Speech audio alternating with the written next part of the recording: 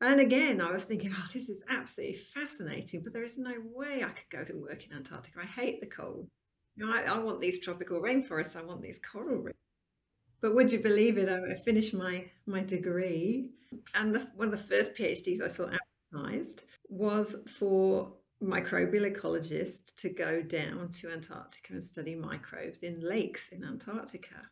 And part of me went, this is ridiculous. One, you don't like the cold. Two, it's microbes. Are you really inspired by those? They're hardy, large rainforest trees. And then I went, you know, how many opportunities am I going to get in my life to potentially go to Antarctica? I'm going to go for it. So within a few weeks of that application and getting the job, I was down in Australia, three weeks of training to get me ready to go to Antarctica. And a few weeks later, I was in Antarctica at 22, starting a PhD.